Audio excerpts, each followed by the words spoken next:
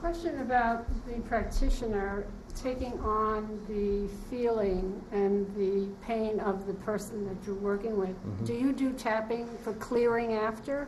Nah. No.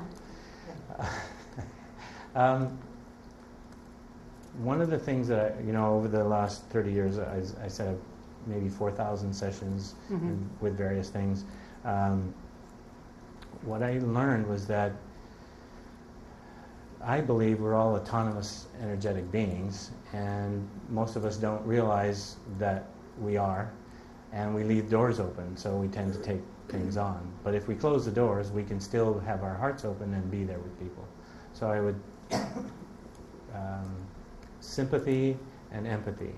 Sympathy, you're riding the roller coaster with them. Mhm. Empathy, you're on the ground saying, you know, been there, or at least your heart is open to that experience, but you're not going with them.